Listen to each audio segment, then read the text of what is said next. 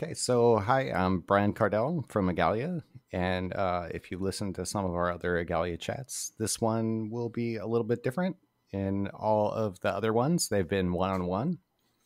But today I'm here with two friends who I think there's pretty good chance that folks will already know. Um, they've been longtime advocates of the open web and web standards, blog and write and give keynotes at conferences. So um, you probably know them, but just in case, I'd like to give them the opportunity to do quick introductions and say hi. So if you could introduce yourselves. Hi, I'm Stuart Langridge. Um, I'm a I'm a consultant, I suppose, these days.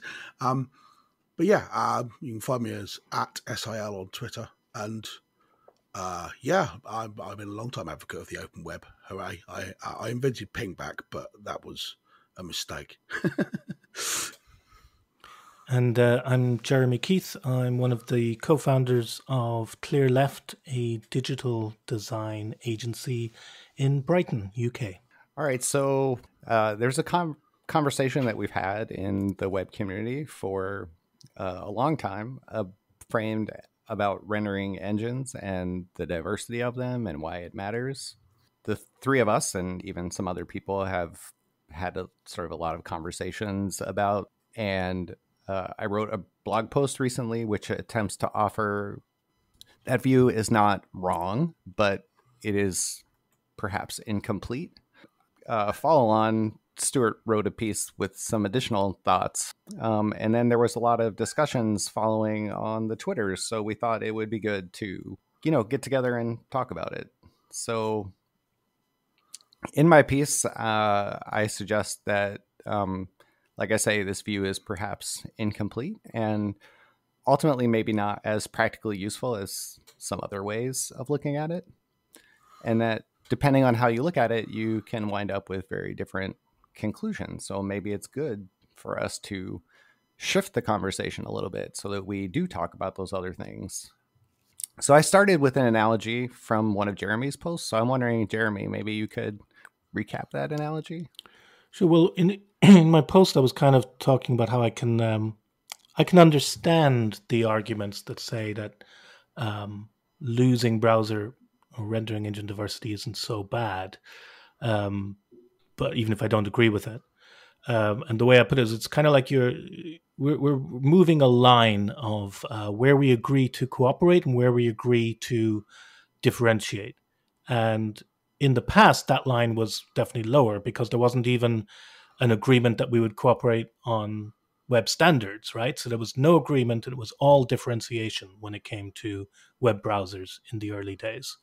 But pretty soon we realized that there needed to be a level of agreement. So this bar gets raised, and it's like, okay, now we're all going to agree to cooperate on the web standards, but then they will differentiate on our rendering engines and all the other things that browsers do.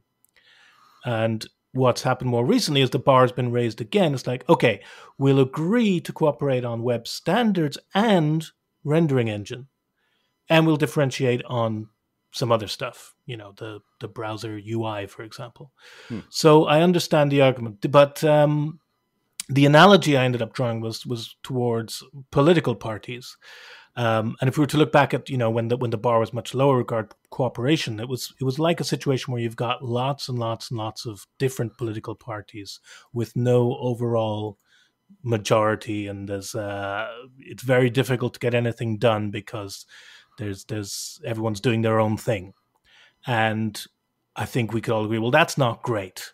However, what's really not great is when you you only have one political party right? So, totalitarian state, um, they don't need to worry about cooperation because there's nobody they have to cooperate with. It's just one part, one party system, and we generally, I think, agree that a one party system is not good. So uh, it's all about getting that balance, I guess. Um, and that's the analogy: is a one party system. Yeah, and actually, I, I have not actually heard any reaction from you about the things that I read into this analogy, but one of the things that I said that I liked about it is that um, it it sort of points to the fact that you said like we generally agree. We don't talk about that because it's almost self evident, right? Like we don't more or less general agreement that one is too few, but too many is also not helpful. And so we know it should be a small number, but there's many ways you can look at that where like do how close are those two parties, right? Like I mean if if they're if they barely disagree, that's not actually much difference. And um, if some of those groups are like not participating well, like they're not good actors, then adding them is not helpful either. So there's like a number of ways you can you can look at that. Just really quickly, let's talk about the one. I, I looked really hard to see if I could find um, this quote, and I couldn't. And so I wonder if maybe there's a reason for that. Um, so I don't want to quote it, but I, I see very little evidence that there is a strong push for a single engine, but do do you see otherwise? Yeah, no, I've definitely or? I've heard developers uh, push for that. In the past, it was WebKit. So the the specific engine changes with time, but uh, this comes up over and over again.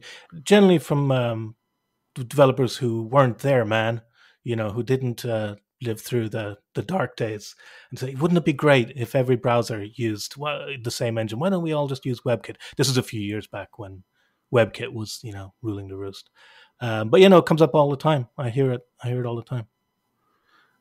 And and to enlarge on that slightly, I think there's two uh, separate ways of looking at that. You've got at least some developers pushing for the idea that there should be one engine, and I that gets dressed up in a lot of ways. But it's basically it would make my job easier if it was like this, which it would undeniably make it easy if you could just develop for Chrome just develop for Blink. Um, but then I think there's another thing, which is that it's not necessarily that people are pushing for one engine, but it's kind of that way anyway. If one company achieves a certain amount of market dominance, then you end up with essentially one engine. I mean, uh, Jeremy mentioned the the bad old days, which we all lived through when there was IE and that was it. If you didn't work in IE, you didn't work anywhere. And people just developed for IE because what was the point in looking at anybody else? But to a first approximation, and a bunch of people are going to disagree with me here, but to a first approximation, apart from on iOS, everything's Chrome these days. So we are largely in that position anyway. Um, Mozilla are now down to somewhere in between 5 and 15%, depending on who you listen to. And so there's not that much competition anyway. It's it's segregated by platform, certainly. But on a given platform, there's not very much competition at all. So th- this actually, I think that you made kind of two or three points in there that play into nicely what the rest of the article is about, actually, which is, um, uh, for one thing, um, when uh, Microsoft won the web in the early days, depending on who you listen to, they controlled somewhere upward of 95%. Um, and the remaining browsers were there was Opera, and they controlled a very tiny, you know, like one or 2%. Then there was Firefox, but Firefox was an open sourcing of Netscape. And so if you break those out, none of those browsers had more than one or 2%. And the the browser vendor Microsoft had stepped away. Like the W3C had said, like this web is done. That was an interesting experiment, but now we're going to go build the real thing. And so Microsoft disbanded the IE team.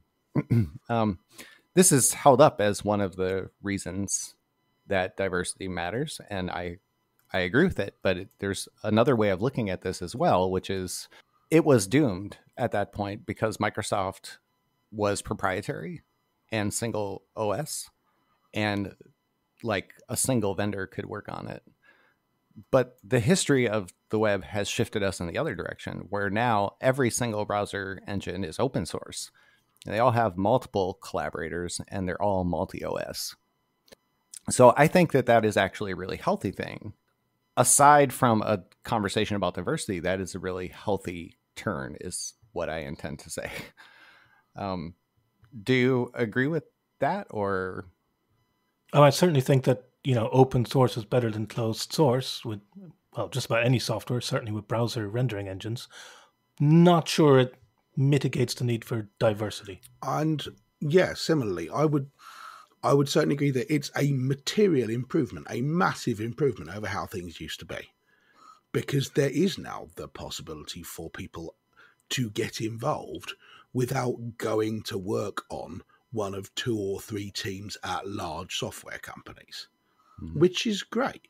But Jeremy's point, I think, is reasonable. There's, um, it doesn't mitigate the need for diversity. I don't think that I'm trying to make the case that discussions about browser diversity are wrong. Um, I do think that browser diversity is important. And I agree that one is too few and that 100 is too many. And that the answer is in the small numbers. Um, but I do think that there is something about that being open source that keeps them potentially more viable and vibrant than they are in another situation. I, and I guess that's that's sort of my point. Like in theory, at least, had Opera or Microsoft been open source, it is very plausible that, I mean, it is at least possible. Plausible is a whole nother topic, which will be the next part. um, that somebody could take that over and keep it going. Yes, um, I'll buy that. Um, I think it's reasonable to say that people who wanted um, to keep those browsers going could do so.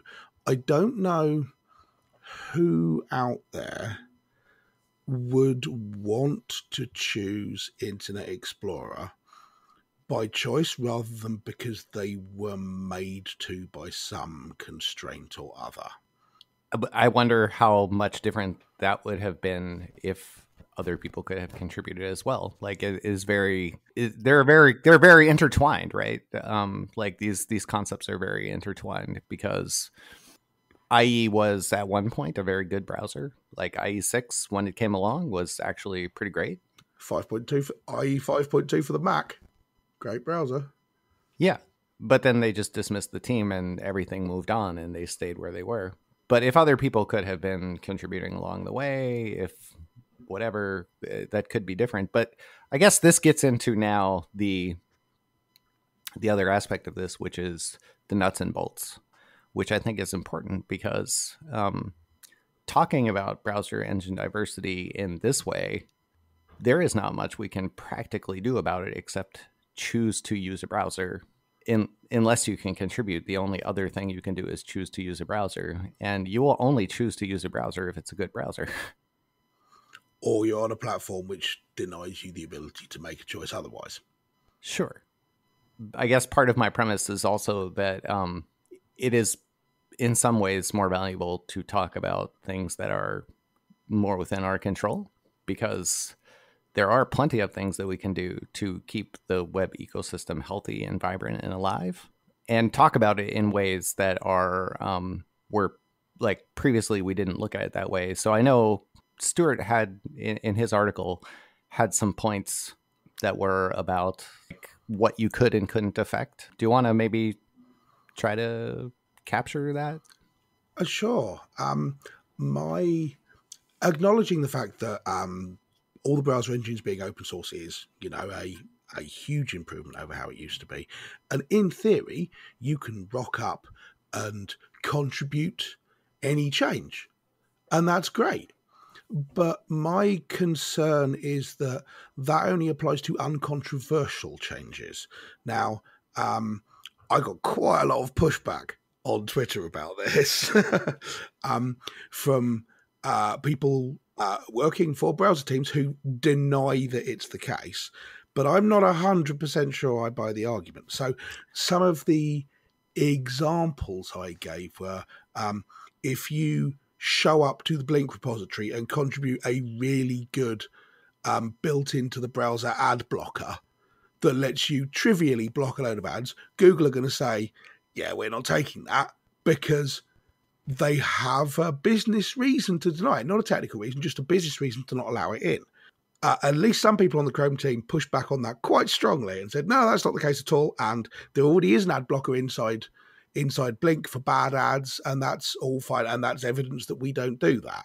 But I'm not entirely convinced about this. In the same way, if you show up and contribute a brilliant PWA implementation to WebKit, Does that mean it's going to show up in iOS Safari?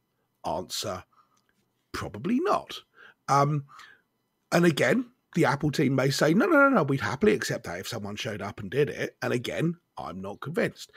Um, it depends whether you think that when you've got a major commercial sponsor of a browser engine, so the people who use it to build their uh, browser, so uh, obviously um, Google for Blink, uh, Apple for WebKit, Mozilla for Gecko, whether putting something into the browser engine means that it will show up in their browser, whether they're prepared to do the work to patch that back out if they don't want it, if they're prepared to carry stuff in their browser engine that they don't want in their browser, and then they do extra work to remove it from their browser if it conflicts with their business model, or whether you think they wouldn't allow it into the browser engine at all.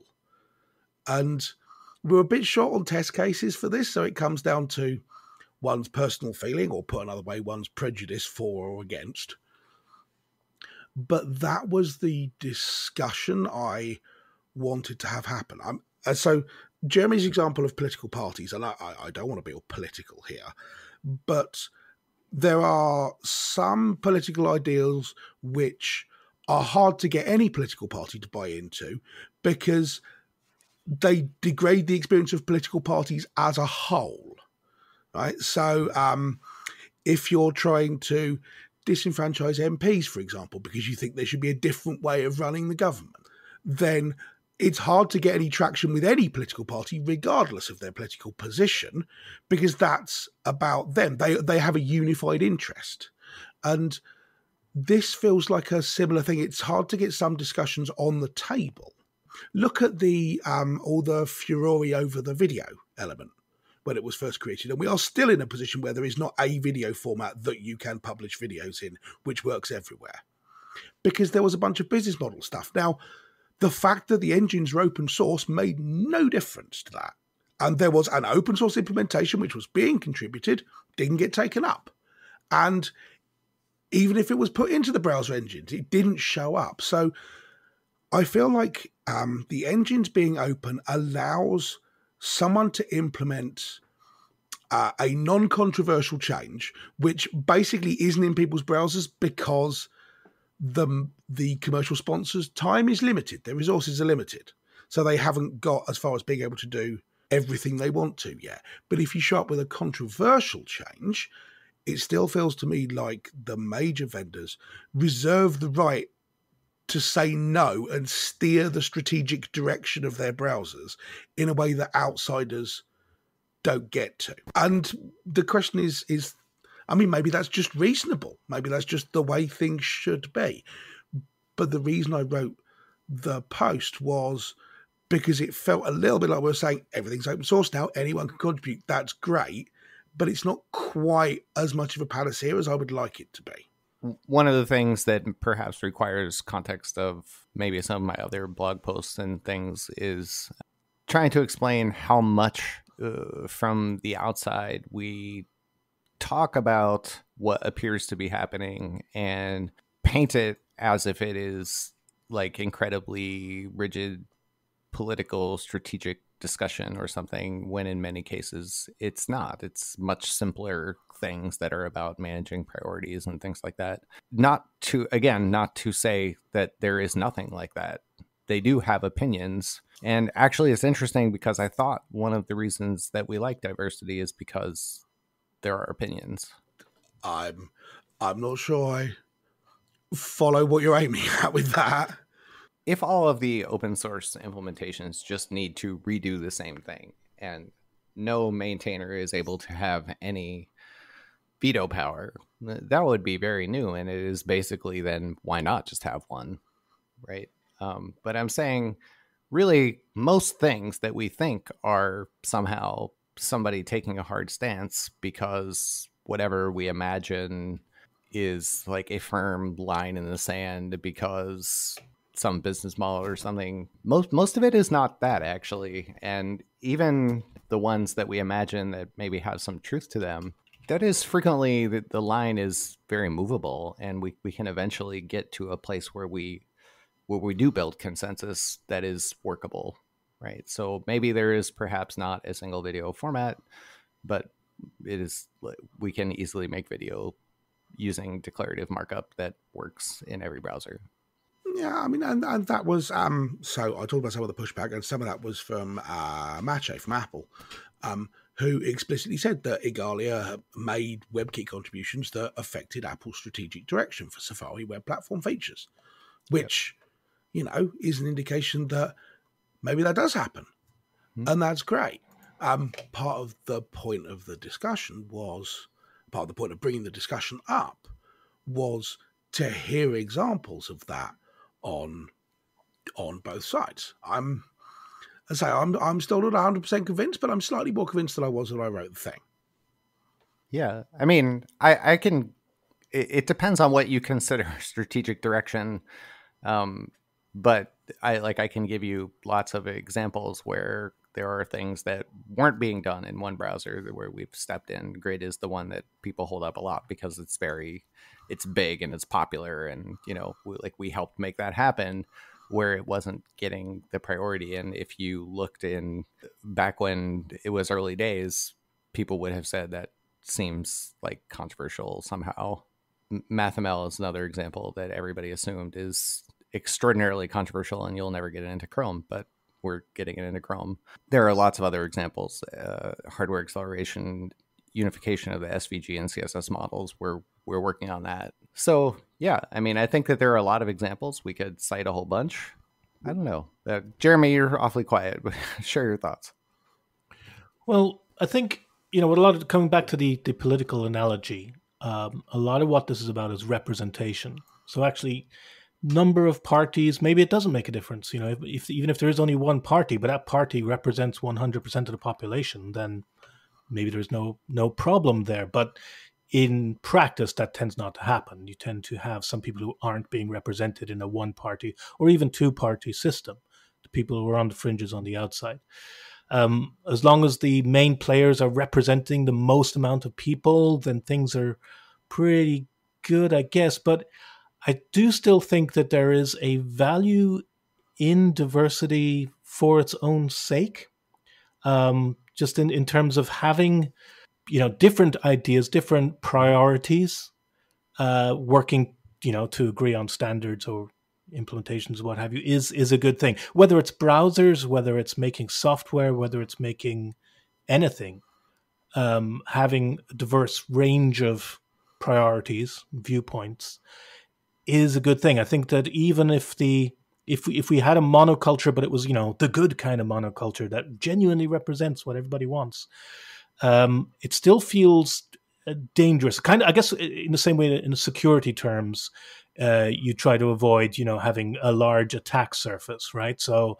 Um, you have to always keep your WordPress uh, CMS uh, patched for vulnerabilities, not because it's any more or less vulnerable than some other CMS, but because it's so popular that it's uh, it's a target, right? Um, and I think the analogy might be might be true here is that if uh, if we develop blind spots because we're all contributing to one uh, browser rendering engine, we won't know what we won't know. We won't know uh, ideas and viewpoints and priorities that that are shut out from the get go. Yeah. So uh, I feel like this is an interesting question because um, I talk about how we have three today uh, rendering engines, and even part of the post is trying to convince people that we have three because uh, conversations always turn to well, there's really only one that matters, or there's you know one is only there because of X, or one isn't really relevant, or whatever.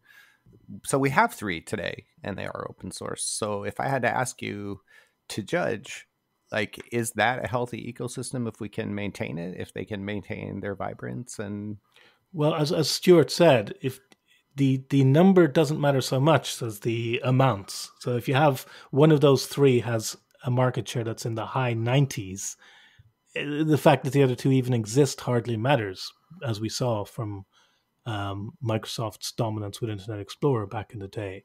So the, the, the number, you know, if it was three browsers with 33% market share, then yeah, you know, that would be some good proportional representation. Well, how do you think that we take action on that? I, I think like one way we could do it is to use open source to make those other browsers somehow more competitive. But there's an interesting conversation here about like, I don't know, maybe Firefox is just really an awesome browser, but for whatever reason can't get the market share.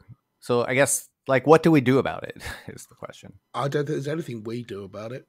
Um, I don't think there's anything we can do about it. This is um, to a first approximation. There is no technical difference between the major browser engines at this point, unless you're right up on the edge of something brand new.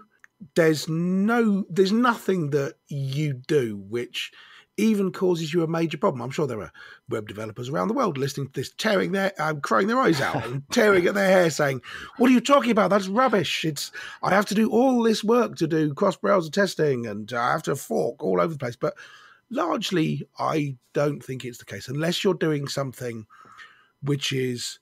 You, you know, if if you're right at the can I use edge where most mm. of the boxes are red, pretty much everything works pretty much everywhere now. This is a huge, huge improvement over how it used to be. So people are largely not choosing uh, their browser on technical merit uh, and on technical achievement. Chrome did a very good job of focusing on performance back in its early days. Say their pitch was, "We're way faster than the browser you're using," and it was the truth because they put a load of effort into uh, performance of web pages, performance of the browser itself, in a way that the others hadn't yet. And that was a rising tide raising all boats thing because everyone else went, wow, Chrome's getting loads of browser share, market share from this. We better do performance too. And now everyone's more performant, and hooray, that's good. But largely, I think people are not choosing their browser based on its rendering engine being significantly more competent than the competition. The reason they're making the choices is something else. Yeah, this goes back to what I was saying about that bar kind of being raised. So whereas in the past, like I said, you know, to begin with, we weren't even collaborating on web standards. Then we agreed, okay, we collaborate on web standards, but we'll have different, quite different rendering engines with quite different, you know, capabilities. And now it's like, as Stuart said, well, the rendering engines are pretty much on an equal footing, and so the differentiation is happening in stuff that's beyond the rendering engine. It's stuff like the other features the browser gives you, like uh, privacy, right? Um, tr- uh, blocking trackers and stuff like that. So another way to put that is priorities. So a company that has one set of priorities will will you know pimp out their browser, which is rendering engine plus priorities, um, to have UI features that that you know will favor some features, and a different browser maker can technically be pretty much equivalent in terms of web standard support, but have a very, very different feature set in terms of things like, yeah, um, blocking surveillance and and uh, or maybe taking a stance on DRM and stuff like that. So um, yeah, I think that's where the differentiation happens. Stuart is absolutely right. That's the reason why people choose one browser as another. Way in the past, you would have chosen a browser by saying, "Oh, this browser is just better." Right? This browser has better support for standards. This browser has better support for some features. And these days, yeah, I mean, the, the support is pretty much on an equal footing. So it's those other things above that bar that are the reason why people choose different browsers and should be free to choose different yeah browsers. and i think that's um, i mean um, there is a distinction here between um, uh, mozilla and the others because uh, as was pointed out to me um, mozilla ship what's in master if um, there's no separate proprietary version of Firefox, which is the thing that actual users get, um, unlike the other two, where Chrome is not quite Chromium, um, and iOS Safari is not just a shell around WebKit. And but even that aside, the the things where uh, competition is happening tend to be things which are much less open to influence by outside contributors either because they're about uh, operating system integration, or they're about the closed source bits of the browsers, or they're about strategic direction and marketing plans. I mean, no matter how open source you make Chromium, I can't make the Google search engine page put a thing saying, hey, why not install Chrome at the top of it? Or why not install Stuart Browser at the top of it? I can't make Google Inbox only work in in my browser and not in Chrome. I can't make um, Apple's uh, I, I, can't, I can't make when Apple streams WWDC or whatever it is. I can't make it pop up a thing on my Android phone which says, "Hey, use Chrome instead of Safari." and I think that's the kind of thing I was meaning about strategic direction. That it's it's things that aren't technical and therefore are much less subject to outside contribution and outside influence, precisely because they're not things which are checked into GitHub and can't sensibly be checked into GitHub. The thing you were saying about Gecko and uh, the proprietary things. Um, so both WebKit and Chromium have, uh, and it, Gecko as well, but uh, it's a little bit different. All of the browser projects are open, and you can think about them as being like the middle Lego brick. They're not the bottom, and they're not the top. So it's not just you slap a skin on it. You also need the OS level bindings, and like you need to make it work on the different OSs and all that kind of stuff. So like in WebKit, each of the ports has their own low level piece as well as whatever then we put atop that as a browser. Uh, the other thing, which is about things you said about like uh, the Google search page saying, you know, download Chrome or Microsoft shipping Internet Explorer with the operating system or you know whatever. Like there are sure there are advantages there and i i i sort of don't know what we can do about them. Like i part of me is interested in the i mean we talk and you read my posts and you know i'm super interested in the theory but i'm more interested in like where the wheels hit the road like what can we do? What are the practical actionable things we can do to improve? Because just merely shouting into the wind is not useful either right? Well i think where i think where we you know tend to work on improving things is is at um i guess one, uh, the middle layer of the the biscuit you're describing um which is still at the web standards part so maybe not so much about getting those web standards into the rendering engine that ships with the browser that's owned by the company. So all that stuff, you know, certainly browser part and company part, we can't influence. Even the rendering engine part, yeah, in theory we can, you know, ship some code into a rendering engine, but I think the, the the practical place where we have most influence is at the level of of the web standards, even if it's just by demonstrating uh, the wish for something to exist, right? That that idea of representation. If the people that are making the rendering engines that go in the browsers that are owned by the companies are supposed to be representing what uh, people want, then we as people can kind of show up and say, "Well, we want this, and uh, we'll we'll work on that with you." So I think where we influence is still down at that level middle level, I guess. It's important that they be vibrant and practical and maintainable. Uh, those last two are really important. If not, they will not continue to exist. And then no matter what we want, we it's you know that will be the the case. How do we retain the diversity that we have now? And is there a way we could in, like imaginably increase diversity. Like I, I had an idea in my post about how we might get one more engine. I don't know. I'm curious for your thoughts if you have any. Well, I, I mean, I think use Firefox as a short-term thing. More people, like I said, if, if it was closer to 33% market share for all the different engines, that would be great. So anything we can do to push it towards that number, great. But on a more practical level, you know, maybe it needs to become a real problem um, in order for it to be tested, right? So the situation with Internet Explorer, it was when it became the real problem. So the fact that it had 90 whatever percent market share wasn't really a problem until uh, Microsoft disbanded the team and there were no more updates. And then that's the situation was interpreted as damage and routed around with the creation of, of Firefox. Um, and so maybe if the situation were to deteriorate today and um, you know, say Firefox disappeared or, or whatever, then that situation would be interpreted as damage and uh, something new would come along or, or, you know the same rendering engine would be maintained by a different uh, consortium perhaps um, i guess it's what i'm saying is it's it's a bit theoretical today because as you point out, it's actually working pretty okay today. I mean, that could change from one day to the next, and people could lose representation, and it would be an unfair situation. But actually, right now, things are okay. So it is, yeah, maybe more about keeping things more or less as they are, trying to get maybe more the um, the numbers to change, the amounts of market share to change, rather than you know numbers of rendering engines. Um, but I, I do hold out hope that if things were to get bad in terms of representation and diversity, that again it would be interpreted as damage and and routed around. Yeah, I I am less keen on this possibility. Um, even ignoring the fact that um, if you let things get bad, then that means things have got bad, which is you know bad. It's right there in the name. But more importantly, I think um, the thing which is different now to what it was many years ago is that a web browser is now, I would say, by some distance, the most complicated program on any machine.